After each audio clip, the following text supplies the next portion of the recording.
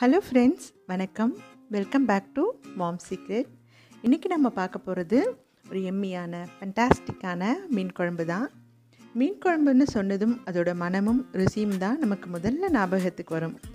இன்றைக்கி நான் பண்ண போகிறது ரொம்ப ரொம்ப ரொம்ப ஈஸியான ஒரு ப்ரிப்பரேஷன் தான். வாங்க மீன் குழம்பு எப்படி பண்ணலான்னு பார்க்கலாம். அதுக்கு முன்னாடி இது வரைக்கும் நம்ம சேனலை சப்ஸ்கிரைப் பண்ணாதவங்க சப்ஸ்கிரைப் பண்ணுங்கள் பக்கத்தில் இருக்கிற பெல் பட்டன் அழுத்துங்க. அப்போ தான் நான் போடுற வீடியோஸ் உடனுக்குடன் உங்களுக்கு அப்டேட் ஆகும். வாங்க மீன் குழம்பு எப்படி பண்ணலான்னு பார்க்கலாம். முதல்ல அதுக்கு தேவையான பொருட்களை பார்த்துடலாம். ரெண்டு பெரிய வெங்காயம் ரெண்டு தக்காளி ஒரு மாங்காய் கருவேப்பிலை பதினஞ்சு பல்லு பூண்டு நான்கு பச்சை மிளகாய். தாளிக்கிறதுக்கு நான் நல்லெண்ணெய் எடுத்திருக்கேன். ஒரு ஸ்பூன் வெந்தயம் இரண்டு ஸ்பூன் மஞ்சள் தூள் இரண்டு ஸ்பூன் மிளகுத்தூள் ஒரு ஸ்பூன் வெல்லம் காரத்திற்கேற்ப குழம்பு மிளகாய் தூள் உப்பு. மீன் நான் முக்கால் கிலோ எடுத்திருக்கேன் சுத்தம் பண்ணி வச்சுருக்கேன். இரண்டு எலுமிச்சம் பழம் அளவுக்கு புளி எடுத்து தண்ணியில் நல்லா கரைச்சி வச்சுக்கோங்க.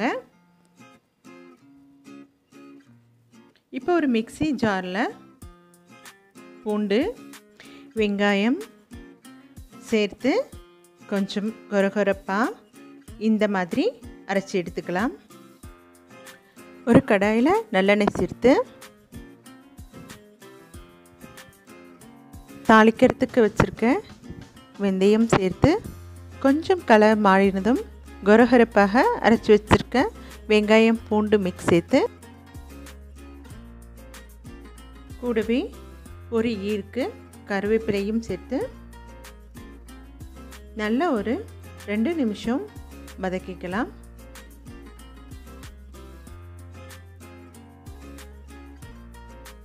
வெங்காயம் இந்த ஸ்டேஜ் வதங்கினதும் பொடியாக நறுக்கி வச்சுருக்கேன் தக்காளி சேர்த்து இன்னும் ஒரு ரெண்டு நிமிஷம் வதக்கிக்கலாம். இந்த மிக்ஸ் நல்லா வதங்கி தக்காளி வெங்காயத்துலேருந்து எண்ணெய் இப்படி பிரிஞ்சு வரணும். இந்த ஸ்டேஜில் நம்ம மசாலா பொடியை ஆட் பண்ணிக்கலாம். மஞ்சள் தூள்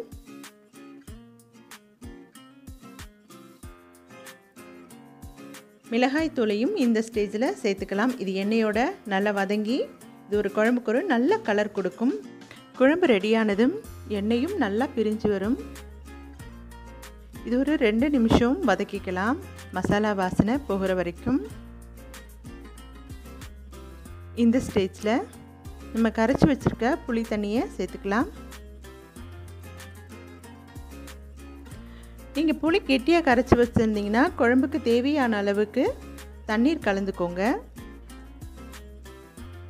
மசாலா வாசனை வெங்காயம் பூண்டு மிக்ஸ் வாசனை எல்லாம் போகணும். இந்த ஸ்டேஜில் குழம்புக்கு தேவையான உப்பு சேர்த்துக்கலாம்.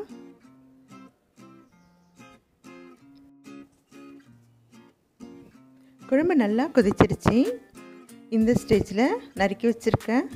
பச்சை மிளகாய் மாங்காய் இரண்டையும் சேர்த்து ஒரு அஞ்சிலிருந்து ஏழு நிமிஷம் கொதிக்க விடலாம்.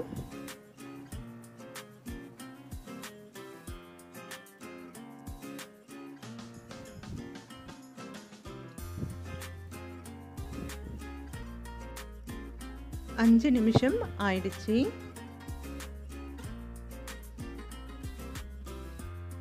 மாங்காய் இப்படி முக்கால் பதம் வெந்தால் போதும். இந்த ஸ்டேஜில் நம்ம வெல்லம் சேர்த்துக்கலாம். வெல்லமும் மிளகுத்தூளும் தான் இந்த குழம்போட சீக்ரெட் இன்க்ரீடியன்ட்ஸ் ரெண்டும் சேர்த்து ட்ரை பண்ணி பாருங்கள் டேஸ்ட் சூப்பராக இருக்கும்.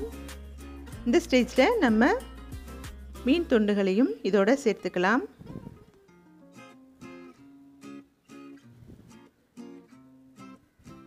மீன் சேர்த்து ஒரு ஐந்து நிமிஷம் நல்லா குழம்பு கொதிக்கட்டும்.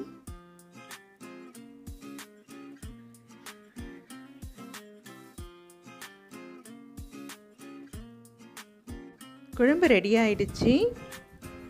இந்த ஸ்டேஜில் நம்ம வச்சுருக்க மிளகுத்தூளை இதோடு சேர்த்து